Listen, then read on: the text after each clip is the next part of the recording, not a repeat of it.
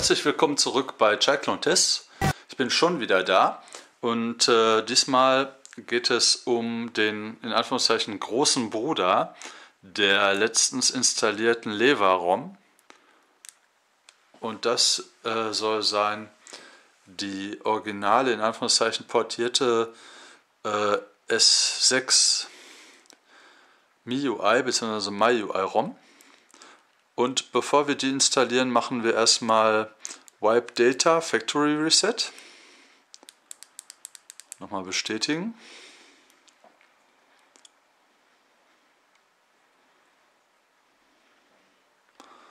So, dann machen wir nochmal bei Advanced Wipe Dalvik Cage.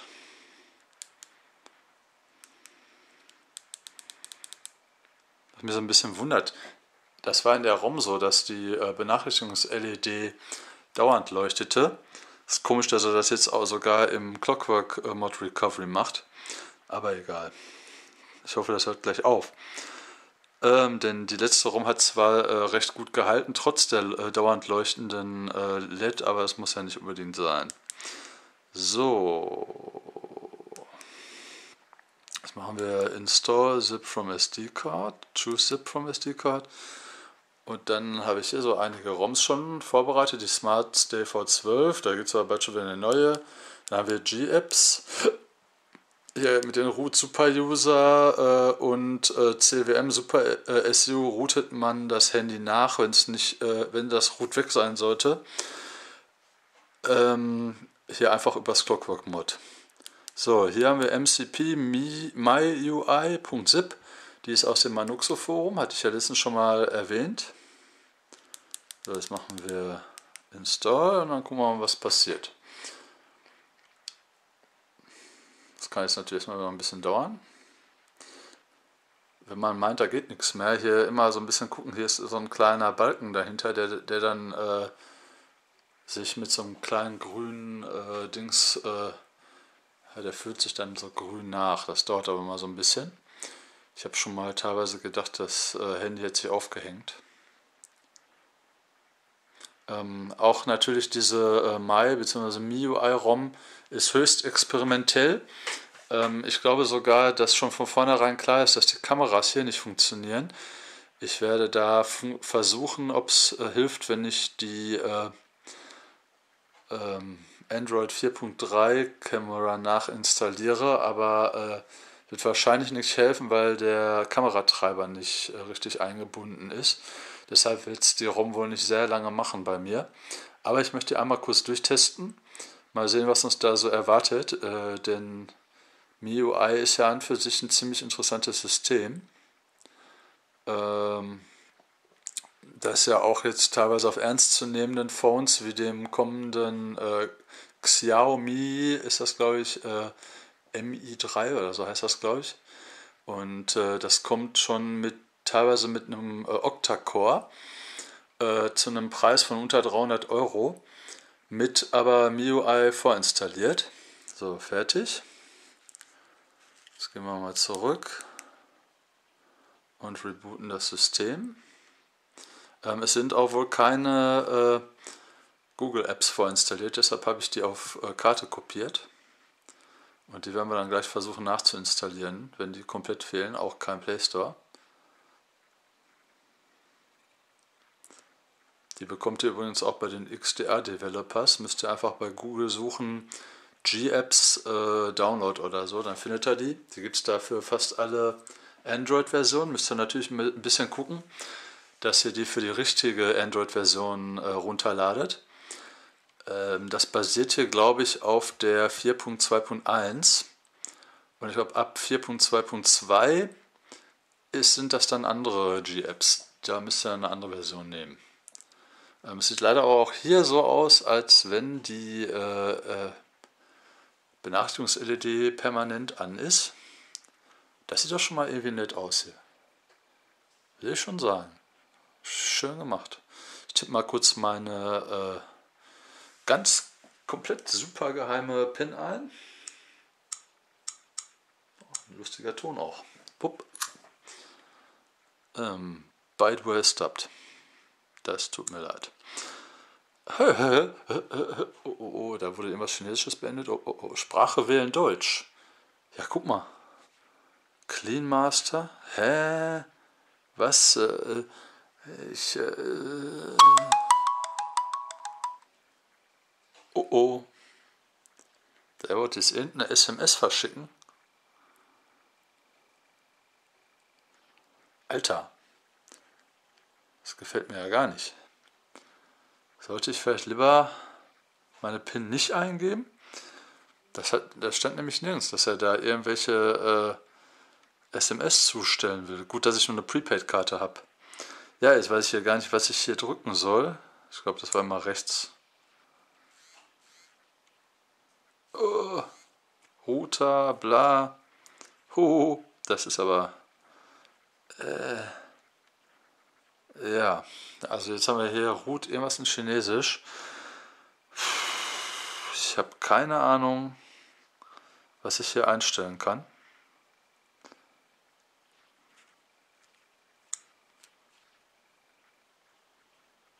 Auf jeden Fall er, will er jetzt auf jeden Fall für irgendwas Root haben. Will ich aber nicht. Erstmal machen wir hier mal MyUI, Zeit einstellen im Netz.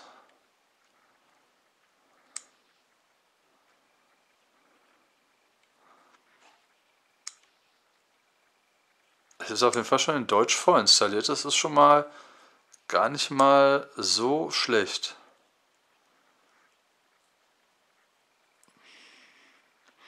Ähm, 24-Stunden-Format, Datumsformat in Ordnung. E Plus. Kontakte von SIM überspringen. Das machen wir per Google. Ähm, mobiles Netzwerk oder WLAN. Ähm, ja. Gut, dass ich nur noch einen Euro drauf habe auf, äh, auf meiner Prepaid-Karte, falls er hier irgendwas verschicken will. WLAN einrichten. Netzwerk hinzufügen. Da ist sogar dieser lustige NVRAM Warning bla. Hier ist aber meine, mein WLAN. Äh, na ist es wieder weg. Muss ich später machen. Fertig. Fertigstellen. So. Oh, das sieht, das sieht schön aus. Ist gar nicht mal, äh, gar nicht mal äh, in Chinesisch alles. Das sieht sehr schick aus. Es sind also aber einige chinesische Apps vorinstalliert. Wie funktioniert denn das jetzt mit der... Da, da haben wir schon mal die... Oh, die sieht aber ganz anders aus, die Benachrichtigungsleiste. Boah, ja, da eben diese Root-Meldung, WLAN-Netzwerk, Software-Updates available, SMS-Kontinent. Gucken wir mal, was die wollen. Da wollte irgendeine SMS nach China schicken, habe ich so das Gefühl. Nicht schön. Das sollte nicht sein. Hier ist das Musik-Widget, Clean Master.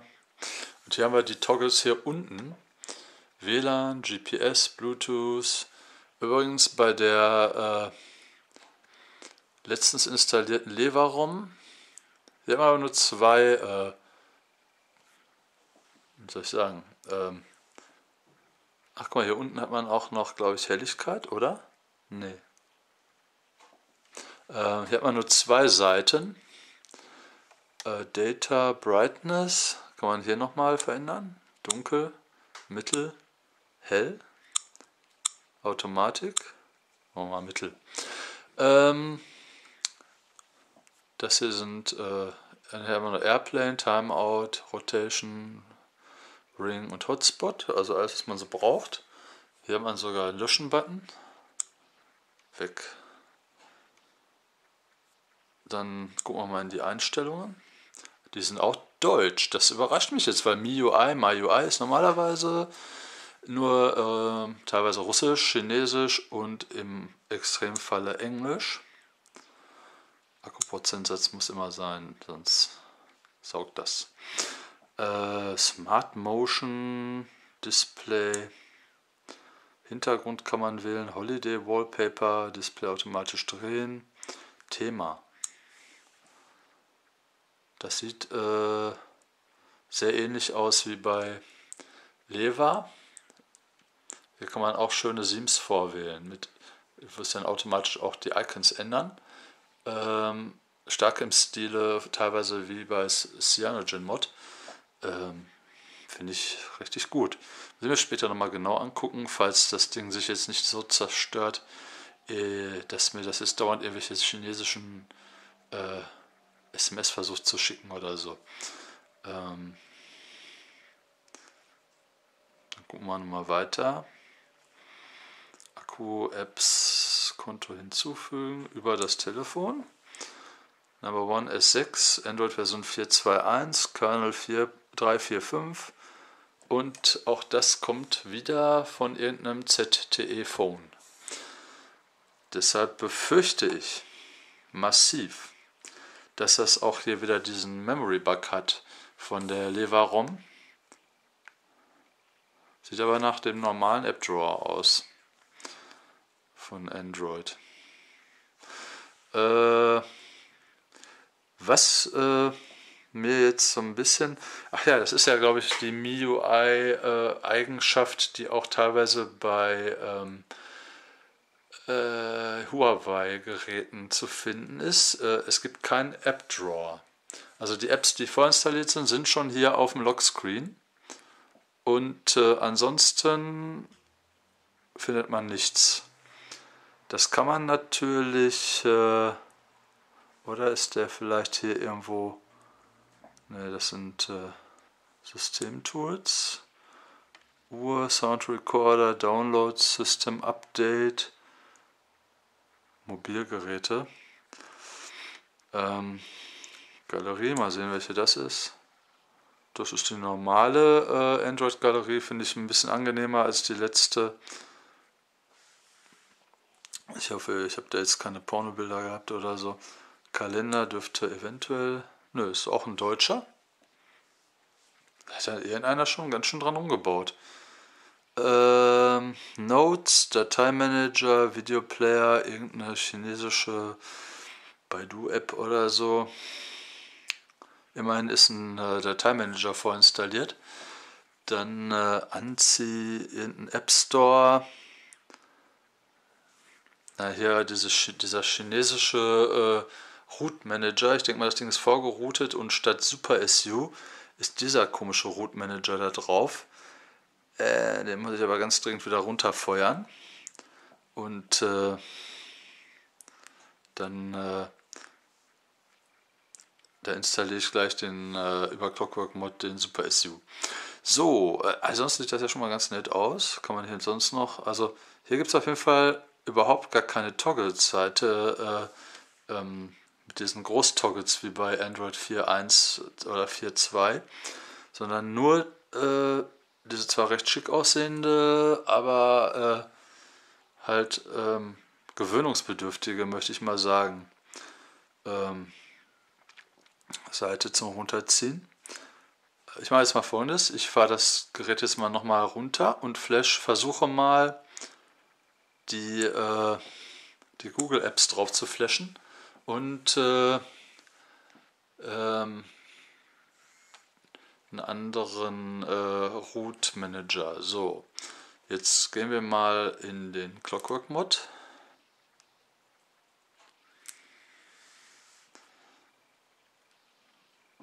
So, dann machen wir Install Zip from SD Card. Was ist eigentlich Zip from Sideload? Ich habe keine Ahnung. Choose Zip from SD Card. Dann nehmen wir hier die G-Apps Jelly Bean vom 12.08.2013.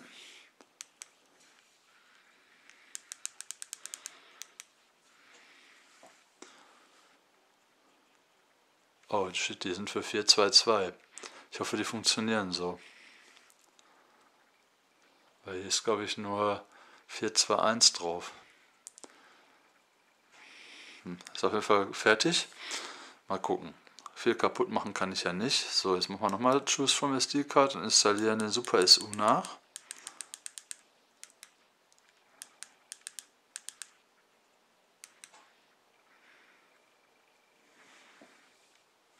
So, jetzt gehen wir nochmal zurück und rebooten die ganze Nummer.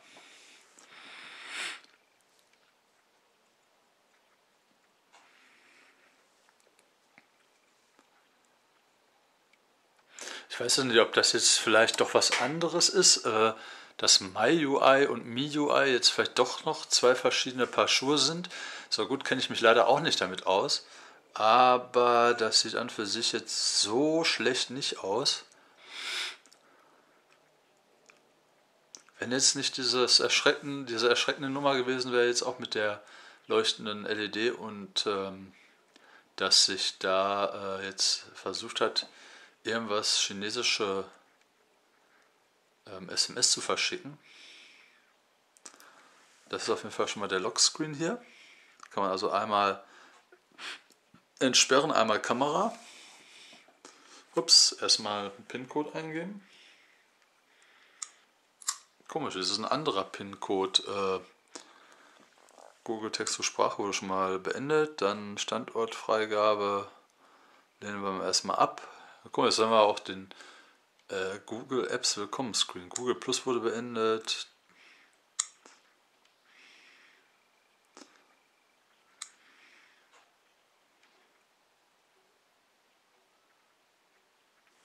Halt.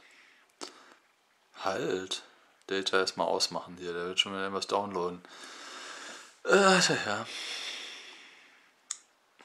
Das gleich mal, wenn überhaupt. Das machen wir erstmal alles, äh, erstmal alles beenden hier. Geht gar nicht.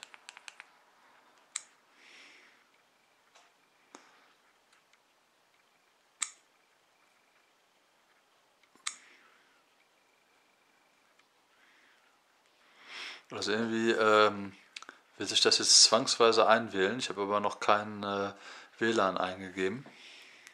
Und irgendwas will sich jetzt auch hier runterladen. Ich werde jetzt mal erstmal, ich habe ja soweit das meiste von der ROM äh, jetzt so gezeigt, was so dabei ist. Ähm, ich werde jetzt mal versuchen, ob ich die Google Apps äh, in den Griff kriege. Ansonsten werde ich die wohl nochmal äh, entfernen müssen und versuchen müssen, die von 4.2.1 zu installieren. Da muss ich nochmal einen äh, kompletten äh, ähm, Wipe machen, damit die wieder weg sind. Und äh, ich werde mal gucken, inwieweit ich das äh, Ding hier so in den Griff kriege. Dann lasse ich das mal ein, zwei Tage laufen und äh, werde dann natürlich wie immer ein kleines Review bringen und dann schauen wir mal, was so an ROMs sonst noch so rumliegt und was man dann testen kann. Ähm, ich hoffe, ihr wart nicht allzu erschüttert hier von der ROM.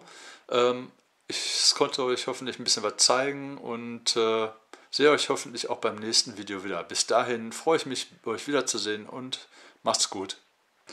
So, ich muss jetzt leider schon mal ähm, das äh, MyUI ROM äh, abschließen, denn ich habe es zwar geschafft, ähm, die Google Apps bzw. wenigstens den Play Store funktionierend nachzuinstallieren von äh, als äh, Clockwork Modzip und der funktioniert auch soweit und äh, auch die äh, WLAN-Verbindung trotz dieses Errors, ähm, wenn man nah genug am Router ist, funktioniert sie irgendwann. Ja, da erschien er jetzt irgendwann. Das Hauptproblem ist, hier war so ein äh, chinesischer Root Manager drauf. Da konnte ich natürlich aufgrund der chinesischen Schriftzeichen nicht erkennen, womit gebe ich Root frei und ähm, womit nicht. Und, oh, jetzt bin ich sogar in den äh, Seitenmanager hier gekommen. Wie ging das denn? Doppelt klicken? Ah, schnell ziehen. Keine Ahnung. Auf jeden Fall, ähm, ich äh, habe den dann ähm, deaktiviert in den äh, App-Einstellungen. Und, äh, na, was ist denn jetzt los? Komplett abgestürzt? Und dann habe ich mir äh, SuperSU installiert. Ähm, der funktioniert aber äh, genauso wenig wie äh, Super User. Ähm, der sagt mir dann immer, die äh, Binaries würden nicht funktionieren ich kriege irgendwie keinen Root hin. Äh, das ist jetzt für mich ein äh, relativ großes Problem, da ich so mein Titanium Backup nicht benutzen kann. Und ähm, ich werde das Teil jetzt erstmal wieder runterschmeißen und vorübergehend mal die Fluffy V12 drauf tun, bis hiervon äh, eine einigermaßen funktionierende Version rausgekommen ist. Das sieht auf jeden Fall so schon mal recht vielversprechend aus. Es ist zwar nicht alles komplett ähm, in äh, äh, Deutsch übersetzt, aber schon so einiges. Das finde ich ganz gut.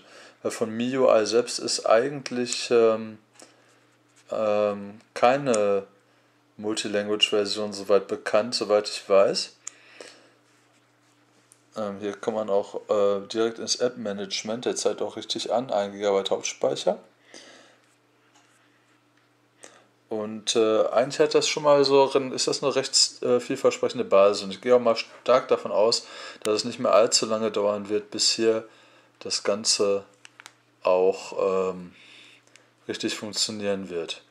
Hier auch dieses schöne äh, Widget ist leider nur äh, in, mit chinesischen äh, Städten verfügbar. Dann diese ganzen äh, chinesischen Apps hier sind auch ziemlich gruselig.